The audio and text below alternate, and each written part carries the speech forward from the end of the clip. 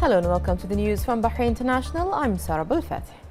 The Ministry of Foreign Affairs of the Kingdom of Bahrain has strongly condemned the terrorist attack on a natural gas plant in the Shaybah field and refinery in Saudi Arabia by the Iranian-backed Houthi militants in Yemen in a cowardly terrorist act aimed at destabilizing security and posing a grave danger to the world energy supply.